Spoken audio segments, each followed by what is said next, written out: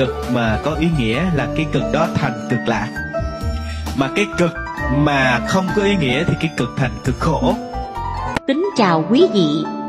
Trong những ngày qua, Tâm trí của tất cả mọi người đều hướng về tu viện minh đạo Với nỗi lo lắng sâu sắc về tương lai của các em bé mồ côi nơi đây.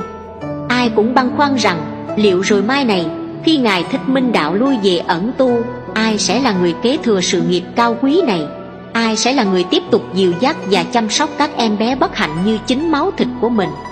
Nhưng giờ đây, chúng ta đã có câu trả lời viên mãn, một câu trả lời đầy sự yên tâm và thỏa nguyện. Với những quan sát thực tế trong quá trình điều hành hoạt động của tu viện, thì người kế nghiệp xứng đáng đó không ai khác chính là sư minh định, đại đệ tử xuất sắc nhất và thân cận của ngài thích minh đạo đây là một quyết định được hình thành từ một mối nhân duyên sâu dày khi sư minh định đã theo làm đệ tử của ngài minh đạo từ thuở ấu thơ.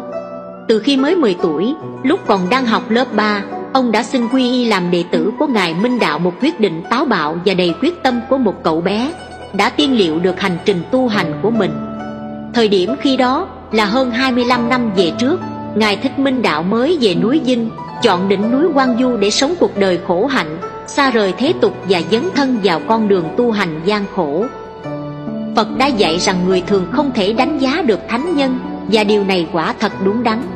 Với một bậc chân tu đã viên mãn trong việc hành Bồ Tát đạo như Ngài Thích Minh Đạo, với công đức trì giới vô lượng và trí tuệ ba la mật đã khai ngộ, Ngài đã bước vào hàng thánh tăng, một bậc đại trí, đại bi và đại hùng trong Phật Pháp. Hơn 7 năm trước, Ngài Thích Minh Đạo đã chọn được người kế nghiệp cho mình và từ đó đã chuẩn bị rất cẩn thận cho ngày Ngài lui về ẩn tu. Ngài kính yêu Tam Bảo, kính yêu tu viện Minh Đạo như chính cuộc đời của mình. Ngài yêu thương các em bé mồ côi hơn cả sinh mạng. Vì vậy làm sao Ngài có thể yên tâm lui về ẩn tu nếu chưa có người kế nghiệp xứng đáng? Sư Minh Định là người có căn duyên tu hành sâu dày với Phật Pháp. Ông đã theo học đạo từ khi còn bé Được Ngài Minh Đạo chăm sóc, dạy dỗ và tài trợ toàn bộ kinh phí tu học trong suốt hành trình dài. Từ 3 năm trung cấp Phật học, 5 năm đại học Phật học, 5 năm cao học Phật học và sau đó là 7 năm xuất ngoại tu học. Không phụ lòng kỳ vọng của thầy mình ông đã trở thành một vị sư mẫu mực uyên bác và đức hạnh. Khi duyên lành đã khởi công hạnh của ngài thích minh đạo đã viên mãn thì đến lượt sư minh định gánh giác trọng trách hoàng dương chánh pháp và chăm lo cho các em bé mồ côi của tu viện minh đạo điều này thật là một phước lành lớn lao không chỉ cho tu viện minh đạo, mà còn cho các em bé mồ côi và tất cả những ai có duyên lành được chứng kiến và yêu mến tu viện minh đạo. Quả thật, sư minh định là người xứng đáng nhất để tiếp nối sự nghiệp cao quý này. Trong kinh pháp hoa, đức phật dạy rằng, chư phật, thế tôn, từ bi vô hạn, đem giáo pháp ban bố cho chúng sanh. Chỉ dạy những phương tiện tùy căn cơ, khéo léo dùng quyền biến để chúng sanh được giải thoát pháp hoa kinh, phẩm dược dương. Ngài Thích Minh Đạo đã khéo léo lựa chọn và đào tạo người kế nghiệp, Không chỉ với trí tuệ mà còn với lòng từ bi, Để đảm bảo rằng giáo pháp và tình thương sẽ tiếp tục lan tỏa, Che chở cho những mảnh đời bất hạnh tại tu viện Minh Đạo. Xin mời quý vị lắng nghe video sau đây, Nơi những người đã và đang làm công đức hàng ngày tại tu viện Minh Đạo Chia sẻ cảm nhận và xác nhận thông tin đầy phước lành này thì mình còn gọi duyên về Phật pháp. Dạ. Thì cái tâm cái sư minh đạo. Dạ. Mình từ sư minh đạo. Dạ. Đừng là sư mình minh đạo. Dạ cái bằng đại đệ tử luôn đó chứ là đại đệ tử của, của sư minh đạo. Đây là thầy cũng có làm sau này làm chủ trì rồi này dạ mà thầy thư người đi học mới về dạ thì được ngoài 7 năm à, học trung cấp à, 3 năm Phật học à, 5 năm cao Phật học 5 năm dạ là 13 năm đi nước ngoài 7 năm dạ là 20 năm. Ồ dữ vậy ha. Chung 20 năm là liên tục học dạ Ngày 11 tháng 8 Trong không gian trang nghiêm và thiêng liêng của đại lễ Du Lan báo hiếu tại tu viện Minh Đạo Ngài Thích Minh Đạo đã khiến toàn thể đại chúng bất ngờ khi tuyên bố một quyết định đầy trọng đại một quyết định mang tính chất lịch sử trong cuộc đời tu hành của Ngài cũng như trong sự phát triển của tu viện. Trước sự chứng kiến của hàng ngàn Phật tử, Ngài đã chính thức gửi đơn bàn giao lại tu viện Minh Đạo cùng với y áo và tất cả những trách nhiệm mà Ngài đã gánh vác suốt bao nhiêu năm qua. Đây không chỉ là một sự chuyển giao quyền lực mà còn là sự thể hiện của lòng từ bi vô hạn, sự buông bỏ thế tục để tập trung vào hành trình tâm linh cao cả, hoàn thiện những gì còn chưa viên mãn trong quá trình giác ngộ của Ngài. Hành động này của Ngài Thích Minh Đạo không chỉ là việc từ bỏ những gì thuộc về thế gian mà còn là một lời nguyện cầu thầm lặng để tiếp tục con đường hướng tới sự giải thoát cuối cùng. Khi nhiệm vụ đã hoàn thành, công hạnh đã viên mãn, Ngài lui về nơi tĩnh mịch, nơi mà Ngài có thể hoàn toàn chuyên tâm vào việc tu hành, không còn bị ràng buộc bởi bất kỳ trách nhiệm nào khác để đạt tới cảnh giới viên mãn trong đạo nghiệp. Cũng vào chính ngày hôm đó, Sư Minh Định, người đệ tử thân cận và xuất sắc của Ngài, đã chính thức nhận lãnh trọng trách từ sư phụ mình. Sư Minh Định đã trải qua nhiều năm tháng tu học dưới sự dẫn dắt của Ngài Thích Minh Đạo, không ngừng rèn luyện cả về trí tuệ lẫn đức hạnh, để giờ đây trở thành người kế thừa xứng đáng, gánh vác trọng trách lớn lao trong việc duy trì và phát triển tu viện Minh Đạo. Quyết định này của Ngài Thích Minh Đạo không hề bất ngờ đối với những ai hiểu sâu về Ngài, vì trước đó một tuần, Sư Minh Định đã được giao phó chủ trì buổi lễ cúng dường trai tăng một nghi thức rất quan trọng tại tu viện Minh Đạo. Buổi lễ này không chỉ là dịp để các chư tăng ni đang nhập thất mùa an cư kiết hạ tại tu viện nhận sự, cúng dường mà còn là thời khắc đánh dấu sự chuẩn bị kỹ lưỡng của sư Minh Định cho vai trò mới. Sự chuẩn bị đó đã được Ngài Thích Minh Đạo giám sát và truyền đạt với tất cả tâm huyết. Quyết định của Ngài Thích Minh Đạo và việc sư Minh Định chính thức nhận lãnh trọng trách không chỉ mang ý nghĩa về mặt tổ chức mà còn biểu trưng cho sự tiếp nối của dòng chảy Phật Pháp, của tinh thần từ bi và trí tuệ, được truyền lại từ thế hệ này sang thế hệ khác. Đây chính là minh chứng sống động cho sự thành tựu viên mãn của Ngài Thích Minh Đạo, đồng thời cũng là sự khẳng định rằng tu viện Minh Đạo sẽ tiếp tục phát triển mạnh mẽ dưới sự dẫn dắt của Sư Minh Định một người kế thừa tài đức dạng toàn. Như trong Kinh Pháp Hoa, Đức Phật đã dạy, chư Phật, Thế Tôn, vì lòng đại bi, đã lưu lại giáo Pháp để cứu độ chúng sinh và đã giao phó sự nghiệp ấy cho những người có duyên lớn. Hành động của Ngài Thích Minh Đạo không chỉ là sự buông bỏ cá nhân mà còn là sự giao phó đầy trách nhiệm, một minh chứng cho tình thương và trí tuệ, một bước đi đầy ý nghĩa trên con đường giác ngộ. Ngay từ khi bước đến cổng vào tu viện Minh Đạo, bạn đã có thể cảm nhận được không khí nhộn nhịp khi các gian hàng hai bên đường đông đúc người qua lại. Để chuẩn bị cho dòng người hành hương đến tham dự mùa lễ Du Lan, hai chiếc xe tải lớn đã được điều động đến, chở theo nhiều nhà vệ sinh di động do một Phật tử hảo tâm cúng dường cho chùa. Sự chuẩn bị chu đáo này nhằm đảm bảo điều kiện vệ sinh thuận tiện cho hàng ngàn Phật tử đổ về thăm viếng. Dọc theo con đường dẫn vào tu viện Minh Đạo, những tấm băng rôn, biểu ngữ nhiều màu sắc được treo lên, mang theo thông điệp ấm áp chào đón Thầy Minh Đạo trở về. Những dòng chữ trên các băng rôn không chỉ bày tỏ lòng tri ân sâu sắc đối với Phật tử khắp nơi mà còn truyền tải các giáo lý Phật giáo qua những câu nói ngắn gọn nhưng ý nghĩa. Bước vào khuôn viên của ngôi chùa, từng khung rạp được dựng lên, từng tấm bạc màu xanh được căng thẳng trên những khung sắt chắc chắn, kéo dài tận phía xa, bao phủ khắp không gian để chuẩn bị cho ngày lễ hội sắp tới.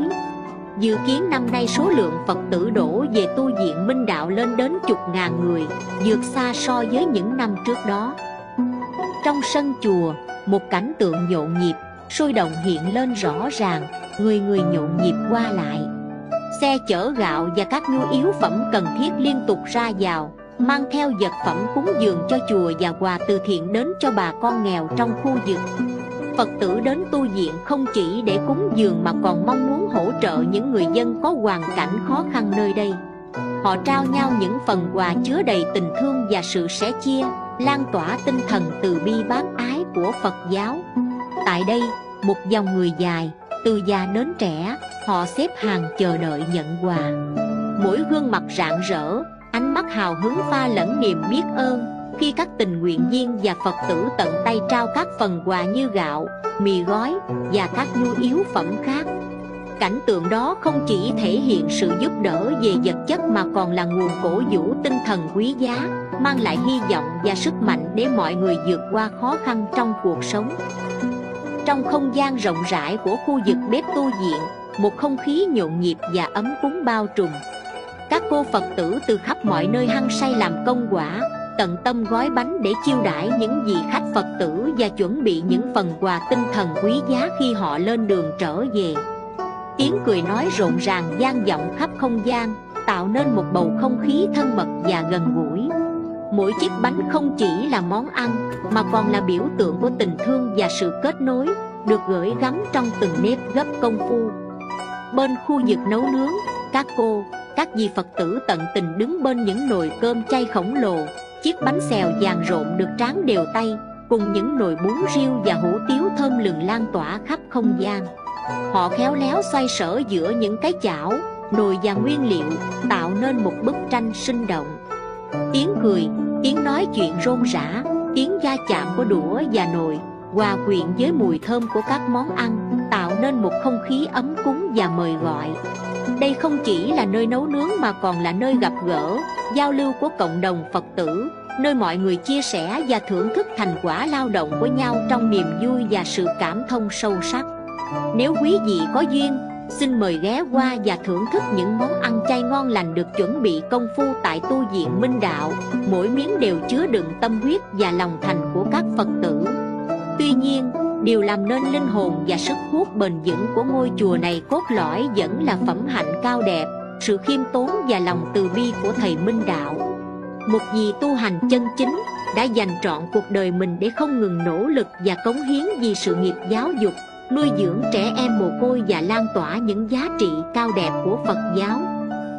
Những hành động đầy lòng từ bi và sự kiên trì trong việc thực hành giáo lý Phật đã giúp Thầy thu hút sự ngưỡng mộ và kính trọng từ cộng đồng và các Phật tử, mang lại sự thịnh vượng cho tu viện Minh Đạo.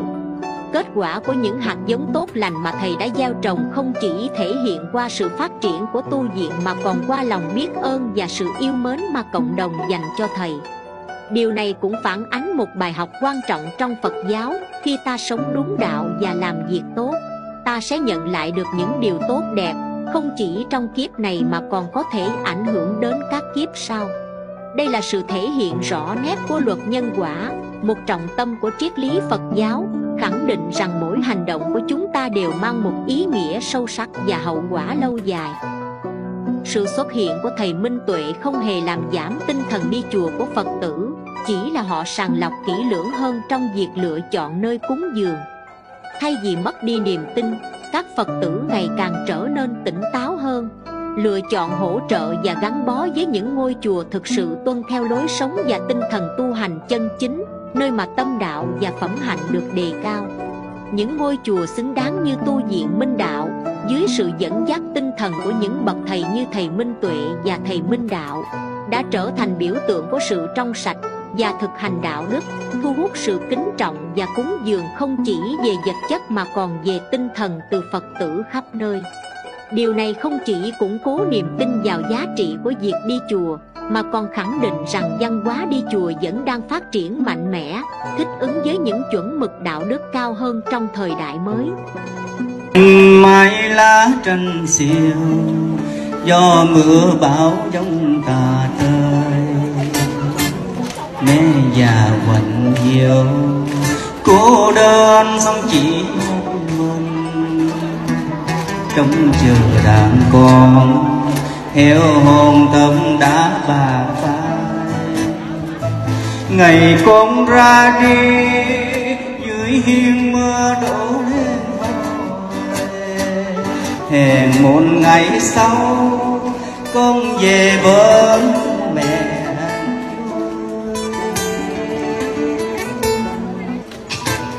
có nhớ có thương, thì này mẹ cũng đi xa.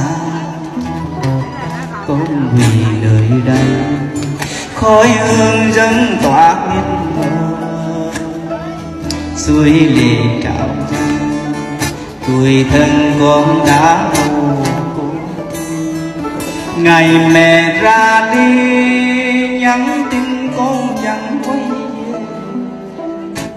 Lối nhịp yêu thương, gió mưa tá tới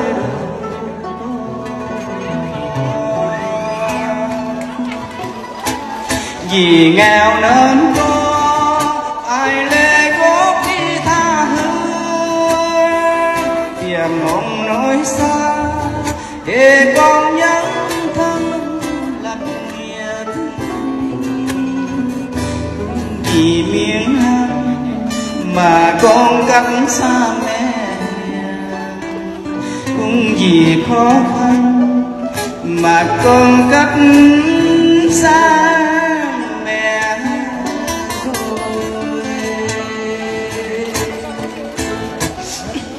có sống tha hương cũng xin nhắn một lời.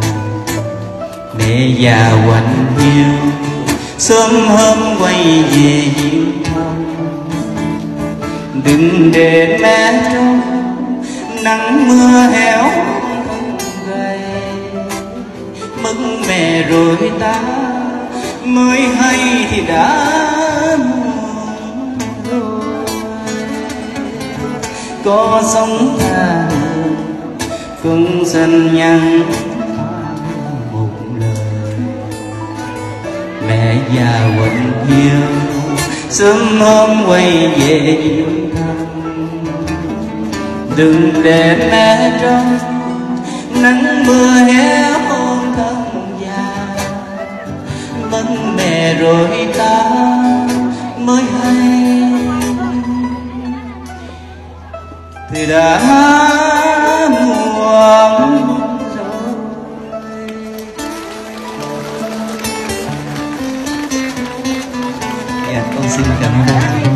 con xin dừng cái buổi pháp thoại hôm nay. Dạ.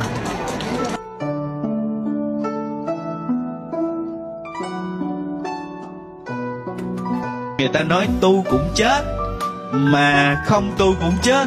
Như vậy tu cũng chi? Tưởng đâu tu được sống lâu hơn không? Tu cũng chết, không tu cũng chết. Nhưng mà chết trong đau khổ và chết trong bình thản vẫn khác nhau một người mẹ mà ngồi bán bánh nước mà tới 12 giờ trưa vẫn còn bán. Nhưng mà có tiền để nuôi chồng, nuôi con, nuôi cha, nuôi mẹ rồi còn đi làm từ thiện á, thì cái cảm xúc vui hơn một người mẹ mà đi lao vào cuộc đời để gì? Ăn chơi xa đọa. Hai người mẹ này nỗi cực khổ có thể giống nhau mà tâm hồn thì không có giống nhau. Cực mà có ý nghĩa là cái cực đó thành cực lạc mà cái cực mà không có ý nghĩa thì cái cực thành cực khổ.